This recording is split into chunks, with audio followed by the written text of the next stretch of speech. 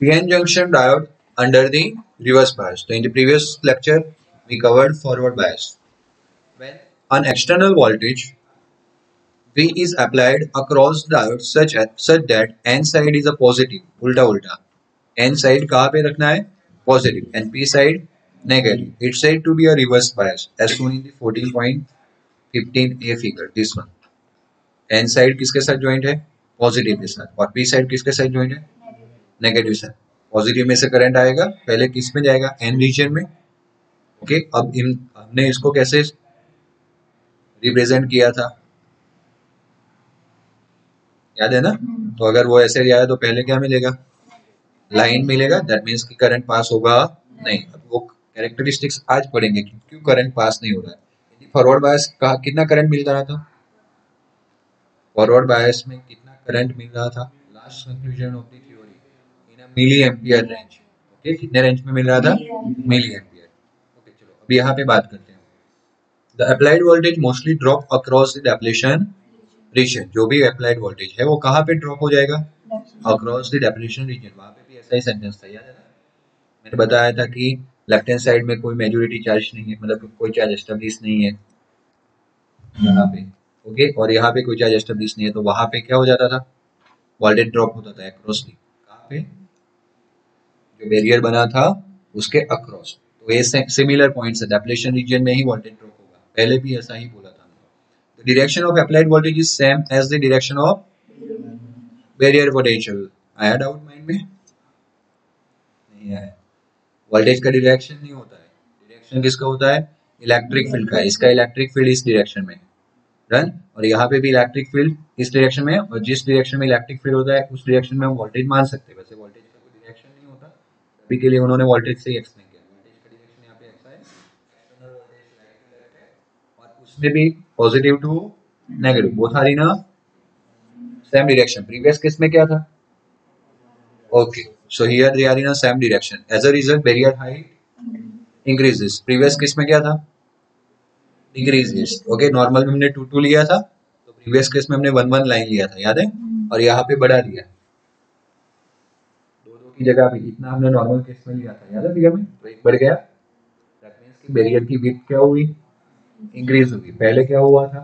Decrease हुआ था। As a result barrier height going to be increase and depletion region wideness due to the change in the electric field. The effective barrier height under the reverse bias is v0 plus v. Effective barrier height कितना होगा? V0 plus v. पहले क्या था? We zero था और उसमें plus add हो गया। बट आगे वाले थ्योरी में फॉरवर्ड बायस में क्या था? वी ज़ीरो माइनस बी याद है? वहाँ पे बैरियर हाइट कम होता था। यहाँ पे बैरियर हाइट क्या हुआ? इंक्रीज हुआ। तो it's V zero plus B this super super place the flow of electrons from N to P and from hole sorry and holes from P to N super sorry suppress not superpose. It suppress the flow. Suppress the flow that means decrease कर देगा flow को okay किसके flow को electrons जो N से कहा जा रहे थे पी और होल्स जो पी से कहा जा रहे थे N and thus diffusion current decrease enormously compare to the diode under the forward bias forward bias में तो चलो सपोर्ट करता था सपोर्ट करता था, यानी कि मेजोरिटी को ट्रांसफ़र कर सकता था। उल्टी रिएक्शन में फ़ील्ड क्रिएट हो रहा था। याद है ना? तो एक डिफ्यूजन हो रहा था, दूसरा ड्रिफ्ट हो रहा था। याद है? तो यहाँ वहाँ पे तो काफ़ी सारे number of charge carrier depletion width कम होने की वजह से एक दूसरे जंक्शन में जंप कर सकते थे। बट यहाँ पे तो जंक्शन का वेट क्या हो गया? बढ़ गया। दैट मीन्स कि अब जो जंप करने की कैपेसिटी है, वो क्या हो जाएगी? डिक्रीज यानी कि नंबर ऑफ़ चार्ज के जो जंप कर रहे थे बैरियर को, वो कम हो जाएगी। यानी कि करंट क्या हो गया? Not only come not only decrease to the bias. The electric field direction of the junction is such that the electrons on the p side or holes on the n side their random motion come close to the junction and they will set to a majority zone electric field का direction उस तरह से है कि electrons कौन सी side P side समझते हैं यहाँ पे ये जो पी रीजन है ना दैट मीन्स कि वहाँ पे हॉल ज़्यादा है। मेजोरिटी क्या है? हॉल बट कुछ कुछ तो इलेक्ट्रॉन हो गए। ओके हमने बोला था कि for P P region N H very very greater than any उसका मतलब ऐसा नहीं सिर्फ़ होली है में क्या है? इलेक्ट्रॉन बट इलेक्ट्रॉन का आवाज़ नहीं निकल रहा है क्योंकि they are in the minority minority में। यहाँ पे कौन ज़्यादा है? बट साथ में कुछ हॉल हो गए। Any very very greater than NH अब इन लोगों के लिए मज़ा है बीजेपी गवर्नमेंट है। माइनॉरिटी के लिए काम करेगी ओके तो रिवर्स बायस में क्या मज़ा है? देखो समझते हो। This is the direction of electric field right to left तो according to F equals to Q E vector F equals to minus E vector मतलब कि अगर नेगेटिव चार्ज है तो अपोजिट डायरेक्शन में लगेगा फोर्स तो यहाँ पे नेगेटिव इलेक्ट्रॉन की बात करते हैं जो माइनॉरिटी थी तो नेगेटिव चार्ज है तो इलेक्ट्रिक फ़ील्ड इस डायरेक्शन में तो उनपे फोर्स कैसे लगेगा? लगेगा ना ऐसे? और वो पी से कहा जंप करेंगे? एन में। ओके माइनॉरिटी चार्ज कैरियर जो नेगेटिव थे कौन सी साइड पॉजिटिव साइड ओके मतलब कि पी टाइप के सेमीकंडक्टर के पास। They can jump to the N side और एन साइड में कौन है? ऑल ऑल यानी पॉजिटिव चार्ज पॉजिटिव चार्ज को कौन सी डायरेक्शन में फोर्स लगेगा? इलेक्ट्रिक फ़ील्ड की डायरेक्शन में यानी कि right to left to they can jump in P to N to P कौन जाएगा? हॉल माइनॉरिटी चार्ज करियर और पी टू एन कौन जाएगा? Electron again there is a minority यहाँ तक समझ में आया? और अब ये लाइन पढ़ो कि इलेक्ट्रॉन्स फ्रॉम पी साइड और holes from N side the motion come close to the they will they will be swept to its majority zone. Okay? वो जंप करके अपने मेजोरिटी जोन में जाएँगे। जैसे मैंने अभी वो वर्ड्स नहीं बोला बाकी समझाया तो सही। इलेक्ट्रॉन यहाँ से पी से एन गए। मतलब कि electron goes to which zone majority zone hole goes from N to P और पी में मेजोरिटी होल था ना? तो माइनॉरिटी से निकल के कहा जाएँगे? मेजोरिटी में। ओके वही तो है हमारा सिटीजनशिप बिल ओके मैं कंडीशन के साथ मैच कर रहा हूँ। हर साल ऐसा नहीं हो सकता but that is the again citizenship bill तो कर रहे हैं। नेबरिंग कंट्रीज़ है। नॉलेज होना चाहिए चारों तरफ़ का। नेबरिंग कंट्रीज़ है, उसमें जो माइनॉरिटीज में है, वो लोग यहाँ पे आके अगर यहाँ का सिटीजनशिप लेना चाहते हैं तो they can acquire their citizenships वहाँ पे माइनॉरिटी में कौन है? सिख, ईसाई, हिंदूस। ओके बाकी नेबरिंग कंट्रीज़ में कौन सी कंट्रीज़ है? मुस्लिम दैट मींस कि they belong to the majority तो ऐसे लोगों के लिए है, और फिर भी हम दंगे कर रहे हैं। हमारे को कोई इफ़ेक्ट नहीं है, हमारी सिटीजनशिप को कोई इफ़ेक्ट नहीं है। देन फिर भी हम प्रॉपर्टीज़ को क्या कर रहे हैं? डिस्ट्रॉय कर रहे हैं। अगर अपोज हो भी विथाउट डिस्ट्रॉइंग द प्रॉपर्टी हो सकता है ना? बट ना दो तीन बस जलाएँगे नहीं, तब तक इंडिया में अपोज नहीं दिखेगा। वॉट ऐसा ही कुछ हुआ यहाँ पे। मेजोरिटी वाले मेजोरिटी क्वेश्चन में से जो माइनॉरिटी था, वो अपनी जो बी साइड था वहाँ पे इलेक्ट्रॉन माइनॉरिटी में थे तो वो बी साइड के इलेक्ट्रॉन माइनॉरिटी थे यानी कि एन में चले गए और एन में माइनॉरिटी में कौन था? ऑल तो वो अपनी and this drift of carriers gives rise to current. okay? But they are very small in number. आपने देखा कि p साइड काफ़ी कम है। और n side any very very greater than ns तो वहाँ पे हॉल कम है। ट्रांसफ़र होगी लेकिन उतना चार्ज नहीं है जितना आपको इफिशिएंटली एप्लीकेशन के लिए करंट मिले and so current to produce drift current is order of few micro diffusion तो ऑलरेडी विड्थ बढ़ने की वजह से क्या हो गया? स्टॉप डिफ्यूजन मतलब पता है ना कंसंट्रेशन की वजह से जंप होता था। तो डिफ्यूजन विड्थ बढ़ने की वजह से कौन सा विड्थ बढ़ने की वजह से? स्टॉप हो गया। बट वो जो अभी हमने करंट मोशन समझाया जंपिंग समझाया वो किसकी वजह से समझाया? इलेक्ट्रिक फ़ील्ड की वजह से। और जब इलेक्ट्रिक फ़ील्ड की वजह से शिफ्टिंग होता है तो उसको ड्रिफ्ट बोलते हैं क्या बोलते हैं बट यहाँ पे इतने नंबर ऑफ़ चार्ज कैरियर नहीं है इसीलिए किसमें रहेगा? माइक्रो एम्पियर में। माइक्रो एम्पियर है निगलिजिबल ओके अब try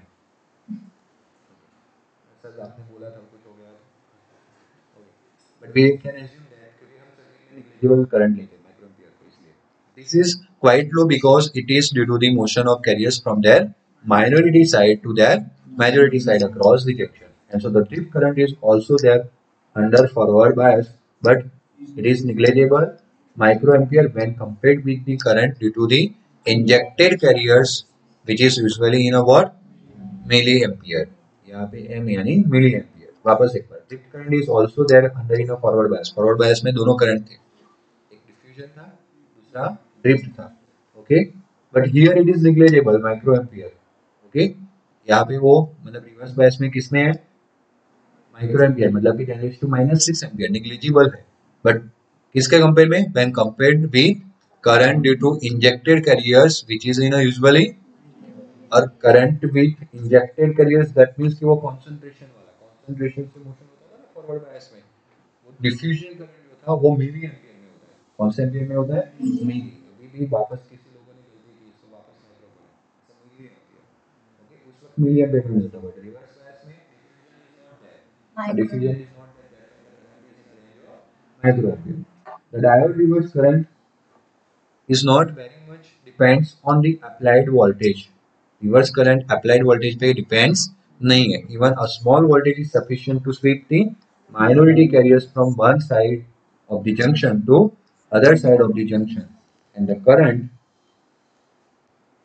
is not limited by a magnitude of applied voltage, but it is limited due to the concentration of minority कह रही है ऑन आइदर थोड़ा सा वोल्टेज अप्लाई करो ना सपोज़ दिस इज़ दे उसके बाद एन है। ओके मैं बोल रहा हूँ तो मतलब आपका ये उसके बाद एन है वो वाला तो इसके अंदर थोड़ा सा वोल्टेज अप्लाई करोगे जंक्शन के अक्रॉस तुरंत माइनोरिटी चार्ज शिफ्ट हो जाएगा। तो वोल्टेज का उतना ज़्यादा इफ़ेक्ट नहीं है। फिर भी minority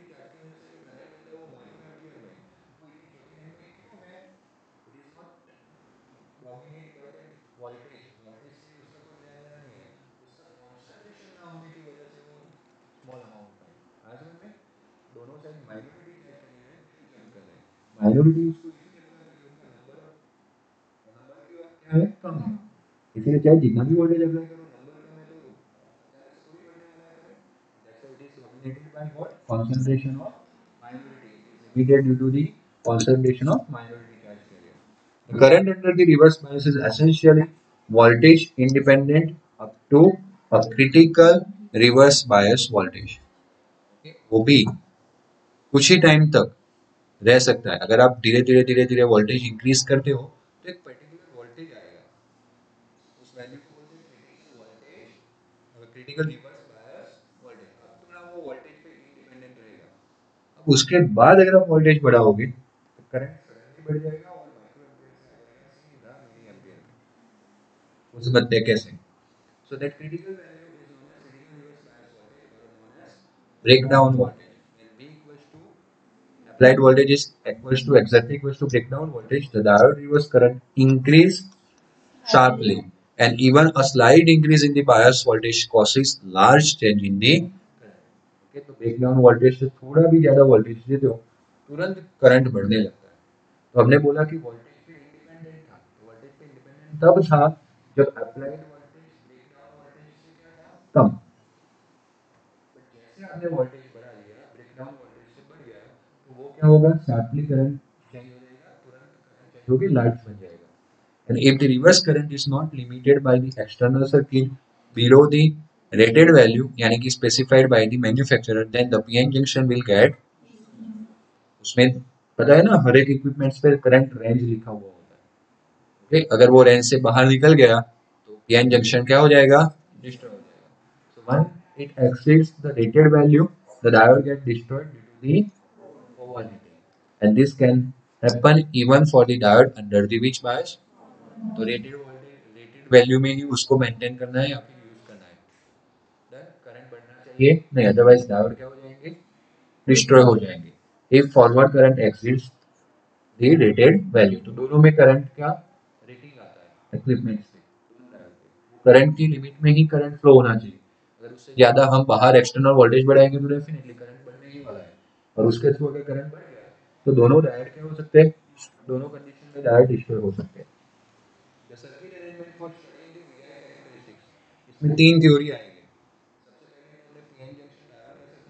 पढ़ा अब तो नाउ बाकी के दो पढ़े एक PN junction diode in forward bias and PN junction diode in reverse bias ये तीन तो हो ही the fourth one forward bias characteristics and reverse bias characteristics fourth तो टोटल पीएन जंक्शन पे कितनी थ्योरी हो गई पाँच। और ये चैप्टर थ्योरी में ही आएगा। मेजॉरिटी उसके एक्सरसाइज में अभी न्यूमेरिकल्स नहीं है। प्रीवियस सिलेबस में था बट आज के टाइम में एक ही पेज का उसका एक्सरसाइज है। ओके न्यूमेरिकल्स नहीं तीन से चार तो एमसीक्यू है तो कहने का मतलब है इस पे फोकस कहाँ रहेगा? थ्योरी और थ्योरी में भी अच्छे से मेहनत करनी पड़ेगी तो पहले हमें कौन से कैरेक्टरिस्टिक्स समझने V I characteristics voltage versus current characteristics as promise in chapter number three chapter number three में आया था non ohmic circuit that means जो ओहम्स के लोग को ओबे नहीं करते वहाँ पे ग्राफ्स कर्व शेप में थे। मैंने बोला था कि अभी याद रख लो ताकि पीछे जाके पढ़ना है। तो वही characteristics voltage versus I curve समय पढ़ने हैं। Circuit arrangement for the study V I characteristics of diode that is variation of the current as a function of applied voltage, shown in the figure A and B.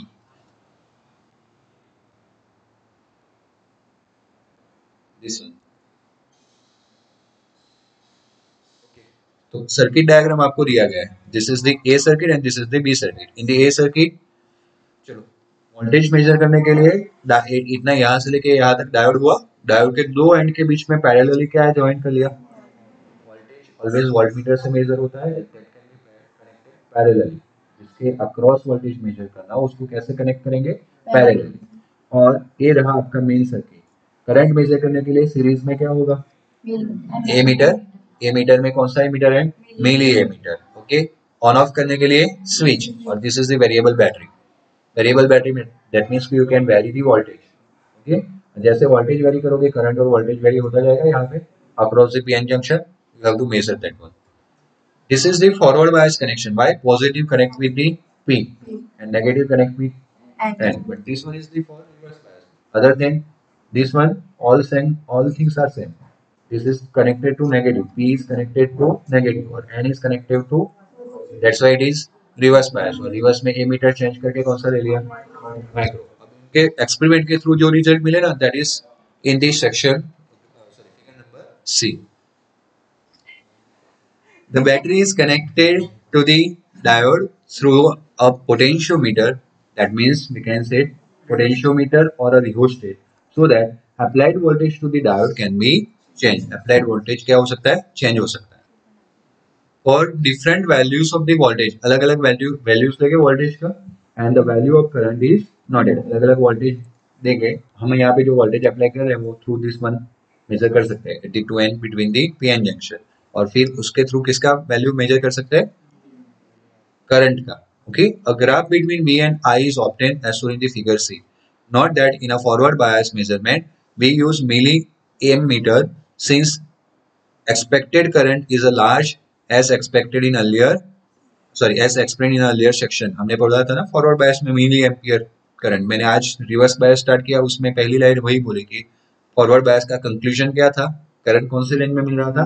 Milliampere. While micrometer is used in a reverse bias to measure the current. Okay.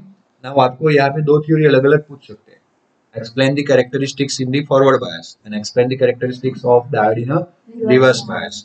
तो अगर forward bias पूछे तो ये दो line और साथ में सिर्फ़ इतना ही ग्राफ आएगा ओके okay? और रिवर्स बायस पूछे तो इतना नीचे वाला ग्राफ आएगा फॉरवर्ड बायस मतलब voltage across across the positive reverse bias मतलब voltage across the PN is negative side आया समझ में? अब ये दोनों कैरेक्टरिस्टिक्स को समझाना है। You can see that figure C that in a forward bias the current first increase very slowly almost negligible till the voltage across the diode crosses a certain value now पीछे जो हमने discussion किया था ना forward bias connection का, उसको थोड़ा याद करो। If you join the PN junction in a forward bias the barrier going to be decrease ऐसा ही कुछ था ना depression area going to be decrease now if we increase continuously external applied voltage deflection barrier going to be decreased continuously then and at the first position यानी कि in the starting position if you are applied the voltage then there is a no change in the current देखो current यहाँ पे एक ए ऊपर वाला जो range है ना दैट इज़ मिली ये वाला एक्सिस यहाँ से ऊपर जा रहा है ना that is of what milli ampere तो करंट जरा थोड़ा सा भी चेंज नहीं हो रहा है up to some point but after some voltage it's suddenly going to be increase देखो, यहाँ पे इतना सा ही चेंज किया और करंट यहाँ से पहुँच गया सीधा यहाँ hundred milli ampere now this voltage is known as okay ये एक्सपेरिमेंट जब करते हो तो आपको थोड़े टाइम तो ऐसा ही लगेगा कि आप गलत हो, क्योंकि सडनली इंक्रीज होने वाला आपके एक्सपेरिमेंट ने व्यूअर स्टेट जैसे जैसे जैसे जैसे आप चेंज करते जाओगे सडनली इंक्रीज होगा।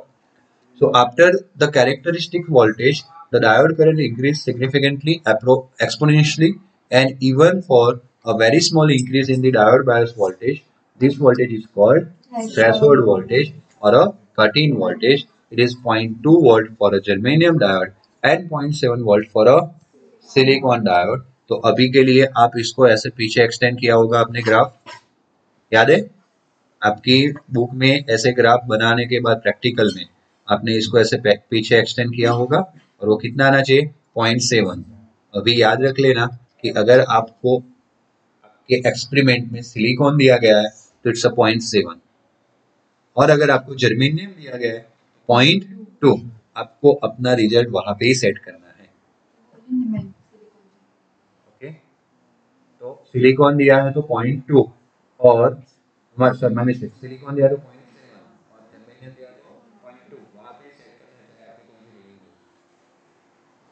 नेक्स्ट आगे बढ़ते for the diode in reverse bias the current is a very small in the range of micro ammeter sorry मैंने से micro ampere and almost remain constant with the changing bias it is called reverse saturation current you can see here Initially, there is a no increase, no change in the current. Current remain almost constant. This is known as saturation current up to certain voltage. देखो 80 तक यहाँ पे तो चलो point में हो लेकिन यहाँ पे तो 80 60 तक करंट में कोई भी चेंज आता नहीं after increase some value okay इसको ऐसे एक्सटेंड करके पीछे ले जाएगी लाइन को तो यहाँ पे एक वैल्यू मिला जो 90 जितना दिख रहा है after that there are there is a sudden change in the current यहाँ से करंट सीधा पहुँच गया यहाँ पे with in small change in the voltage voltage में तो चेंज भी डिटेक्ट नहीं हो रहा है चेंज बताने के लिए मुझे लाइन सेपरेट ड्रॉ करने पड़े इतना ही चेंज हुआ वोल्टेज में और करंट में इतना सारा चेंज हो गया वो चीज़ आपको एक्सप्लेन करनी है However, a special case at a at a very high reverse bias, yani ki breakdown voltage, the current suddenly going to be increases, and thus this special action of the diode is discussed later as an avalanche. Uh, avalanche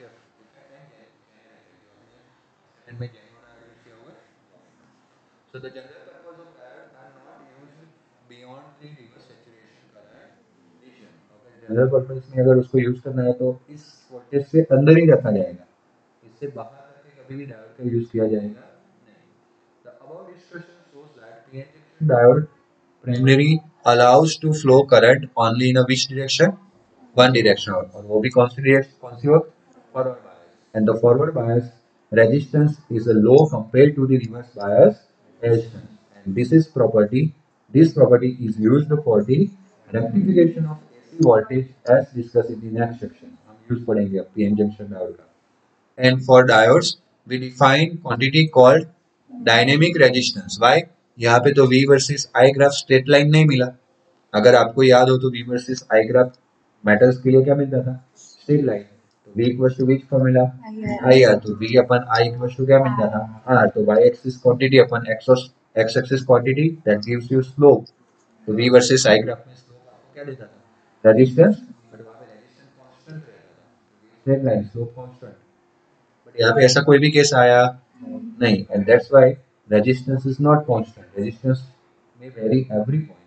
And that's why this type of resistance is known dynamic resistance as the ratio of small voltage small change in voltage that is what delta v and small change in current that is what then dynamic resistance equals to delta v upon delta आया समझ में average resistance मिलेगा dynamic resistance that can be vary point to point but in the case of metal conductors It is constant. It is the slope of the graph.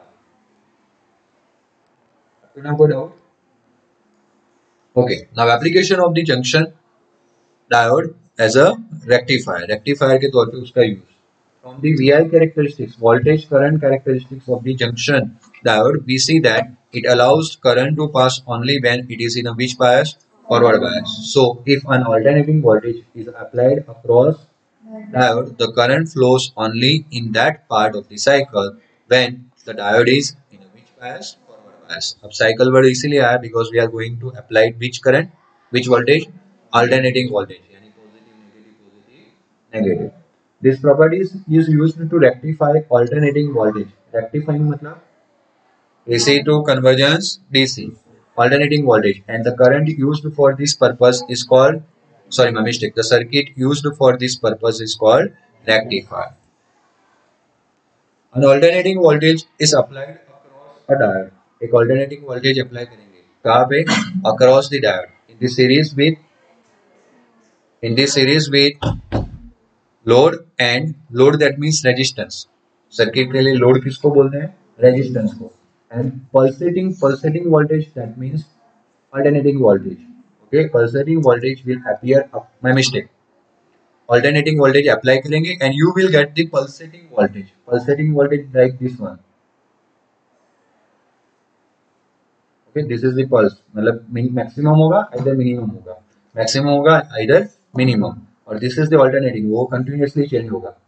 ऐसे zero से लेके continuously maximum पर पहुंचेगा, फिर zero तक जाएगा। But ए अगर मिनिमम है तो एक्सैक्टली सीधा मैक्सिमम हो जाएगा, फिर सीधा क्या हो जाएगा? मिनिमम बीच में कोई आएगा ही नहीं। Maximum value minimum value minus ten plus ten minus ten plus ten ही वैल्यू आ सकते बट इसमें minus ten to minus nine, minus eight, minus seven, minus six, minus five, ऐसे करके ज़ीरो, फिर ज़ीरो से लेके टेन, फिर वापस नाइन, एट, सेवन, ऐसे आएगा continuous this is alternating voltage and this is pulsing voltage that will be appear across the load during this half cycle of A C input during which the diode is forward bias okay तो we can apply the alternating voltage across the diode and in the cycle you will get pulsating voltage and such rectifier circuit is shown in the figure called half wave rectifier. This is the half wave rectifier.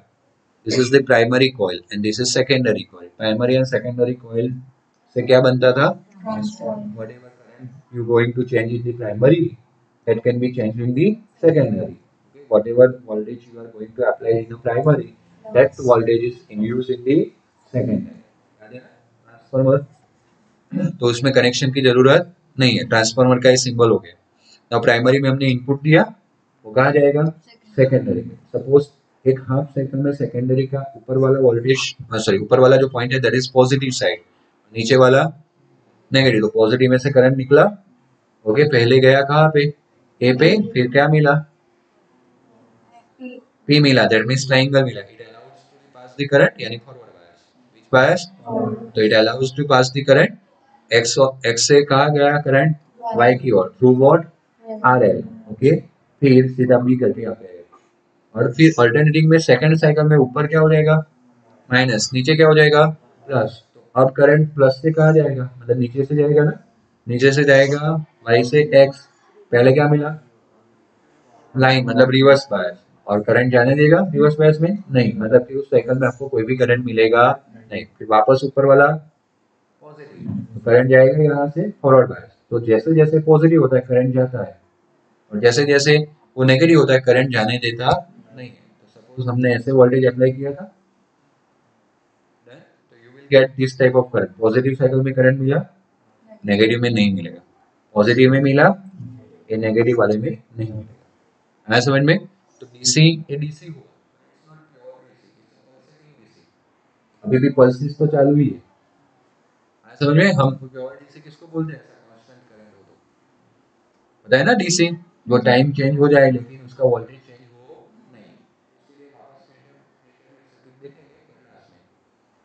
अभी समझते हैं इस तरह pure DC मतलब ये pure DC but अभी pure DC नहीं मिला। कैसा मिला?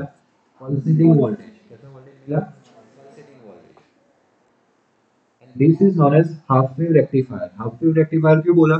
दो साइकिल पूरे साइकिल में से एक हाफ़ साइकिल में मिलता है हाफ़ साइकिल में नहीं मिलता है वापस हाफ़ साइकिल में मिलेगा हाफ़ साइकिल में okay so the secondary of transformer supplies the desired AC voltage across the terminal A and B when the voltage A is at which side?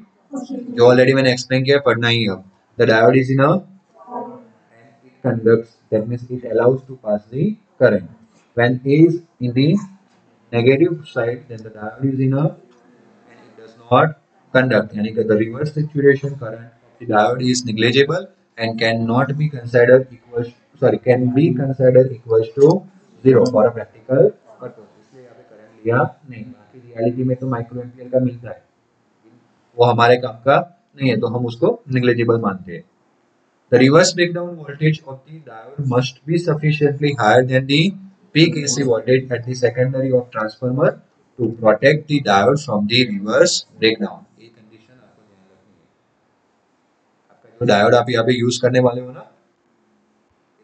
यहाँ पे जो यूज़ करने वाला है उसका कौन सा वोल्टेज होगा? ब्रेकडाउन वोल्टेज होगा। उससे कम वोल्टेज अप्लाई करना है। नहीं तो इससे ज़्यादा होगा तो अगेन आपको रिवर्स में भी करंट मिलेगा। सेचुरेशन करंट से एकदम करंट क्या हो जाता था? इंक्रीज दिस टाइप ऑफ़ तो वापस आपका जो डायोड है वो क्या हो जाएगा? डिस्ट्रॉय हो जाएगा। अगर ऐसा हुआ तो। इसीलिए हमें अप्लाइड वोल्टेज कहाँ रखना है?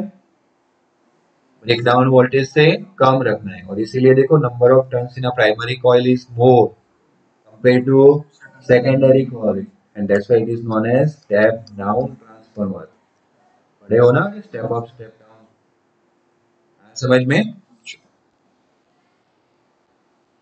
Therefore, the positive half cycle of the AC, of the AC there is a current through the load resistance RL and we get an output voltage across the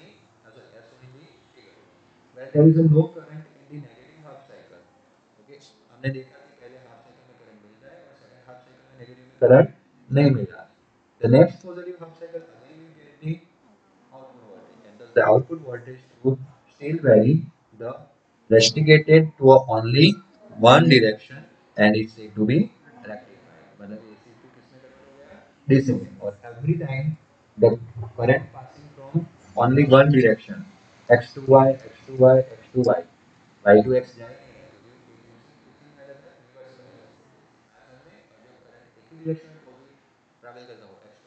x to y तो यहाँ पे जो voltage मिला उसके लिए वो कौन सा वोल्टेज होगा DC voltage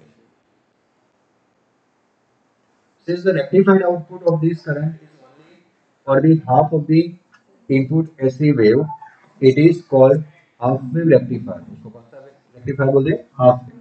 The circuit using two diodes shown in the figure gives output rectified voltage corresponding to both positive as well as negative half of the AC cycle. दूसरी सर्किट देखते हैं.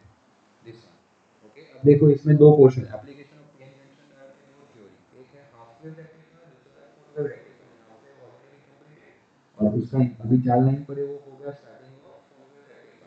जिसमें second primary coil secondary coil secondary coil को दो diode के साथ connect किया जाए देखा? डायोड 1 एंड डायोड 2 अब सेकेंडरी वोल्ट कॉइल कॉइल जो था ना that is the secondary coil उसको सेंटर में से टैप कर दिया मतलब कि कॉइल के दो एंड थे उसमें सेंटर में से तीसरा एंड निकाल लिया। उसको जम किया अर्थिंग कर लिया। उसको कौन सा एंड बोल दिया? वाई और यहाँ पे दो पॉइंट का जो सीरीज़ कनेक्शन था ना दो डायोड का वो सीरीज़ कनेक्शन को यहाँ से कौन सा पॉइंट निकाल लिया? एक्स और एक्स और वाई के बीच में क्या रख लिया? रेजिस्टेंस नाउ सोचो, अगर इनिशियली ये पॉजिटिव पे होगा तो कहाँ पे होगा? तो ए नेगेटिव हो जाएगा और इसके नीचे वाला पोर्शन थोड़ा सा positive positive negative positive negative अब होगा क्या? पॉजिटिव में से करंट जाएगा? It D one is allowed but यहाँ पे पॉजिटिव कहाँ है? Okay B one is allowed फिर करंट ऐसे आएगा. तो B two is not allowed तो एक करंट यहाँ से वापस आ गया, फिर एक दूसरा रास्ता ढूंढना उसने।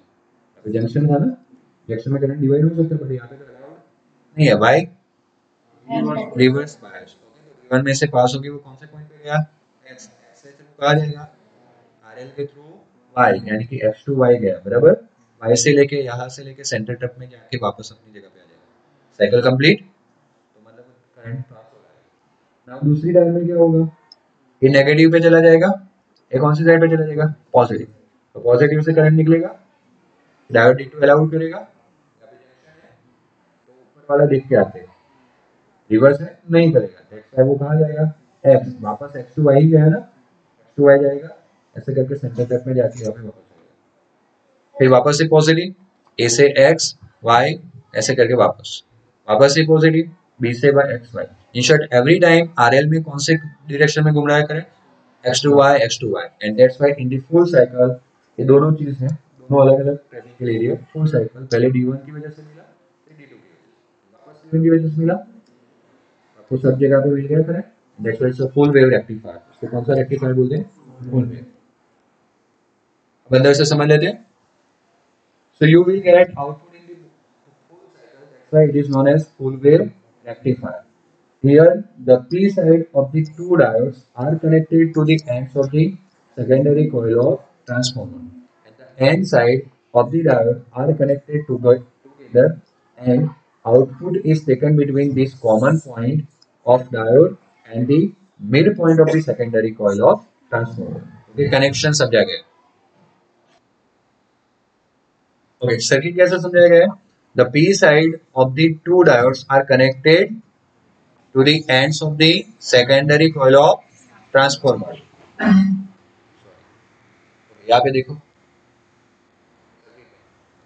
ये कौन सा साइड है? P side a P side दोनों के पी साइड कहाँ पे कनेक्ट किए गए? बोलो सेकेंडरी कॉइल सर्किट आना चाहिए तो थ्योरी आ ही जाएगा। वापस पढ़ लो, जिन लोगों को समझ में नहीं आया।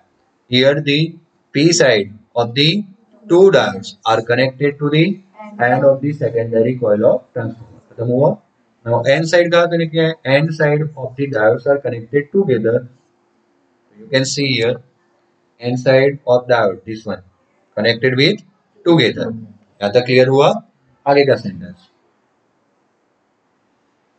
and the output is taken between the common point of the diodes and the midpoints of the secondary of the transformer. तो आउटपुट कहाँ लिया जाता था? X एंड y के बीच में? तो एक कॉमन पॉइंट ले लिया। दोनों ए डायोड का पॉइंट यहाँ तक आया। ए डायोड का पॉइंट यहाँ तक आया। तो दोनों डायोड का कॉमन पॉइंट हुआ। उसके थ्रू और ए सेकेंडरी कॉइल का मिड पॉइंट सेंटर टैप किया है ना? उसके थ्रू दो पॉइंट के बीच में आपको क्या मिलेगा? Output across the resistance R L load R L भी बोल सकते हो। यहाँ तक क्लियर हुआ? That is the description of the circuit now और full wave rectifier the secondary of the transformer is provide with the centre tapping जो हमने बीच में ज्वाइन किया it is providing as a centre tapping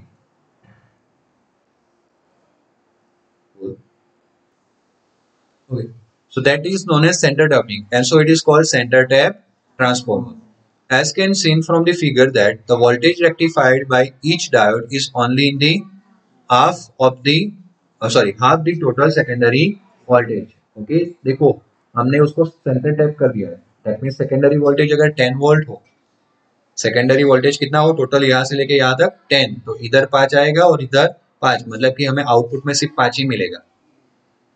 आया समझ में? So that's meaning of that sentence समझ में आया? As can be seen from the that the voltage rectified by each diode is only half of the secondary voltage now each diode rectified only for half of the but to do so for alternate cycles okay half cycle uh, each diode rectifies the one voltage only for what cycle half cycle but it is doing by alternatingly अगर diode one कर रहा है तो diode two नहीं करेगा Thus, the output voltage between their common terminals and the center tap of the transformer becomes a full wave rectifier, rectifier output. Not that there is a, another circuit of the full wave rectifier which does not need a center tap transformer but needs a four diode. अभी हमने center tap transformer disadvantage क्या। हुआ? अगर secondary voltage कितना था? 10 volt तो हमें output में कौन सा मिला था? उसको ओवरकम कर सकते by using how much diode it is scope of our book and that's why हम दो डायोड में ही रहेंगे। वो भी नहीं आएगा। हम वहाँ पे रहेंगे। तो देखो बिल्कुल सिंपल है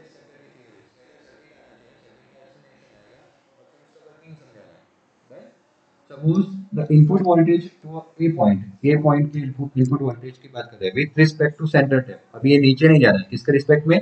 सेंटर अगर ये माइनस है और ऊपर वाला क्या है? Plus it at any instant is positive. Then it is clear that At that instant, voltage of B being out of phase will be negative as shown in the figure.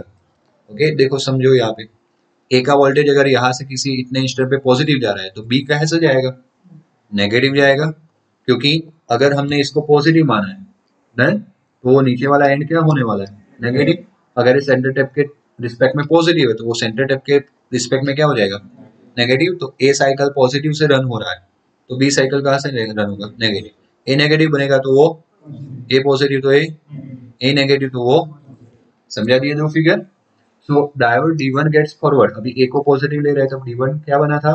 Forward and conducts but D2 being reverse hence not conducting. Hence, during this positive half cycle, we get an output current यानी कि output voltage across the load resistance R L as shown in the figure see this मिला? किसके through मिला?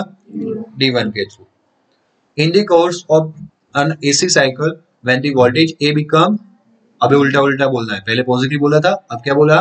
With respect to centre tap the voltage B at B would be positive in this part of the cycle diode d1 would be uh, would not conduct but diode d2 would conduct आया समझ में उल्टा उल्टा पहले d1 conduct कर रहा था अब d1 नहीं करेगा पहले d2 नॉट कंडक्टिंग में था अब d2 and giving the output current and output voltage across the RL during the negative half cycle of input AC and thus we get output voltage during both the positive as well as negative of a half of the cycle and obviously this is more efficient circuit for getting the rectified voltage or a current than the क्योंकि half way में क्या था energy मिलने के बाद कुछ पान तक एनर्जी मिलता ही नहीं था वापस एनर्जी मिलता था तो एनर्जी कम मिलता है आउटपुट कम मिलता है तो एफिशिएंसी क्या हो जाएगी कम बट यहाँ पे तो कंटिन्यूसली मिला है मतलब एफिशिएंसी क्या हो गई ज़्यादा The rectified voltage is in the form of pulses and of the shape of the half sinusoids. मतलब कि साइनोसोइडल शेप में लेकिन हाफ़ दो it is undirectional sorry it is a unidirectional it does not have a steady value okay unidirectional यानी कि positive side तो है ही, और ऑलवेज x से कहाँ मूव करते थे? Y, लेकिन कांस्टेंट वैल्यू नहीं है. To get steady DC voltage from the pulsating voltage normally a capacitor is connected across the output across the output terminals. That is parallel to what? Low resistance RL one can also use inductor in the with the for the same तो मैंने बोला था, अभी आपको pulses मिल रहे हमें क्या चाहिए था? प्योर डीसी यानी कि ऐसा चाहिए था। तो to convert this pulses DC current into pure DC we required filter circuit कौन सा सर्किट चाहिए? और that filter circuit can be form from capacitor या तो फिर inductor since this addition circuit appears filter output to the AC, AC ripple and gives the pure DC voltage so that they are called filters. Now we shall discuss the role of the capacitor in a filtering. जब आप capacitor chapter start किए थे second chapter तब capacitor का application introduction में था it can be used as a filter equipment okay so when the voltage across the capacitor is rising it gets charged and if there is a no external load it remains charged to the peak value peak voltage and of rectified output when there is a load it gets discharging through the load and voltage across being it being to fall जब वो load जब there is a no load that means there is a no resistance circuit में load नहीं है तब वो charge रहेगा peak voltage तक और जैसे सर्किट में लोड आ जाता है रेजिस्टेंस आ जाता है तो वो अपना एनर्जी क्या कर लेगा? यूज़ कर लेगा। उसके अंदर जो स्टोर एनर्जी था ना that can be use in this circuit इसलिए सर्किट में एक्सटर्नल वोल्टेज की ज़रूरत रहेगी नहीं। And the next half cycle of the rectified output, it against get charge next cycle में वापस वो चार्ज होगा और जो फॉल डाउन होगा वो वोल्टेज तब वो अपना एनर्जी देगा। Then and to peak value and the rate of fall of the voltage across the capacitor depends on inversely upon inversely upon the product of capacitance and effective resistance RL that used in the circuit and called time constant उसको क्या बोलते हैं? Time constant okay समझते हैं। देखो this is the AC voltage हमने क्या लगा दिया बीच में? रेक्टिफायर तो यहाँ पे पल्सिस वाला डीसी मिलेगा। क्लियर नाउ वो किसके थ्रू पास होगा? कैपेसिटर के थ्रू पास होगा। और फिर लोड रेजिस्टेंस ज्वाइन करेंगे। रेक्टिफायर का। तो बीच में यहाँ से अगर लोड ये नहीं होता तो हमें वो वाला आउटपुट मिलता है ऐसा। बट लोड रेजिस्टेंस से पहले हमने क्या फाइंड कर दिया? कैपेसिटर तो जो वो उसके पल्सिस वाले कंपोनेंट थे ना, वो एक्चुअली में यहाँ पे सर्किट में ऐसा आता है, वो ग्राउंड हो जाते हैं। और जो आपको वोल्टेज मिलता है ना that can be straight voltage देखो अप्रोक्सी थोड़ा वेरिएशन है क्योंकि हर हर वक्त कोई भी इक्विपमेंट हंड्रेड परसेंट एफिशिएंट नहीं होता। But you can assume it very straight constant okay और उसके वो जो कंपोनेंट्स थे वो डिस्ट्रॉय हो गए। अब हुआ क्या? यहाँ पे कैपेसिटर चार्ज हुआ। उसके बाद के थोड़े साइकिल में उसने अपना एनर्जी दे दिया। इसलिए वो नीचे नहीं चला गया। वापस वो चार्ज होकर यहाँ पे आ गया। फिर वापस अपना एनर्जी दे देगा। वापस चार्ज होगा एनर्जी देगा। इसलिए हमें आउटपुट वोल्टेज ऑलमोस्ट क्या मिलता है?